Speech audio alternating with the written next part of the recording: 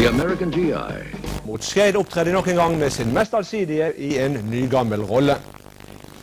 Bent Inge Johnsen har spilt på tre forskjellige plasser for Bodø-Glimt så langt denne sesongen. Og spesielt innsatsen som midtstopper har vært imponerende. I kveld mot Skeid ble han kjørt fram som spiss, og betød det at Bodø-Glimt ikke fryktet Skeids angripere. Nei, jeg tror ikke det har noe med det å gjøre. Det er vel mer at vi har to midtstoppere som spiller godt i år. Og jeg spiller sentral midtbane, nå er Tom Kåre tilbake. Pga. at Tore er ute og vi har to midtstoppere som spiller godt, og Tom Kåre er tilbake. Så jeg vil da si at vi prøver, prøver noe nytt. Stig Johansen, du er uh, toppskårer i Bodø-Glimt med ni seriemål så langt. Uh, er ikke det nok til å beholde en ren spissplass? Det ser ikke sånn ut. Men eh, vi skal greie å løse den oppgaven greit. At jeg går ut på en av flankene, så skal det nok gå bra.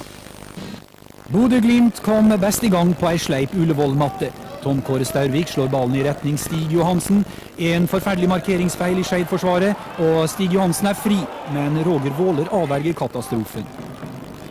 Skeid får neste mulighet. Denne gangen er det Glimt som markerer dårlig på høyrekanten. Men Dagfinn Eneli treffer ikke rent.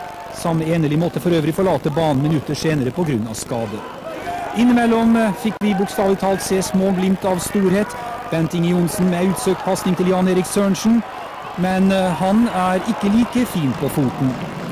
Bent Inge Johnsen var anonym i store perioder, men her prøver han en skrudd lobb.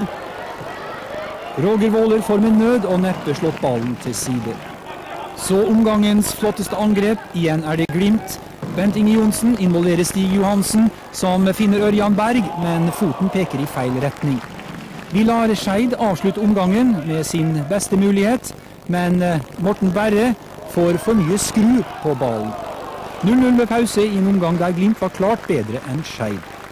Om første omgang var dårlig, var andre omgang direkte svak, med Bodø-Glimt som det minst dårlige av de to lagene. Ørjan Berg var den dominerende kraften i Glimt-spillet, og denne pasningen til en umarkert Jan Erik Sørensen burde ha gitt Glimt ledelsen. Skeid hadde en og annen slenger, men det ble for lett. Thomas Mikkelsen får her stå alene, men effektiviteten til rødkledde Skeid er en saga blå. Så nærmer vi oss slutten. Tom Kåre Staurvik gjør seg klar til å ta et frispark. Og tro det eller ei, mannen med slegga er tilbake med ei praktfull skåring via Skeidmuren. Dermed vinner Glimt 1-0 over Skeid, og bare det flotte frisparket fortjener å bli husket fra denne kampen. Bodø-Glimt vant altså 1-0 over Skeid på Ullevål. Matchvinner Tom Kåre Størvik har vel feiret triumfer på denne banen før.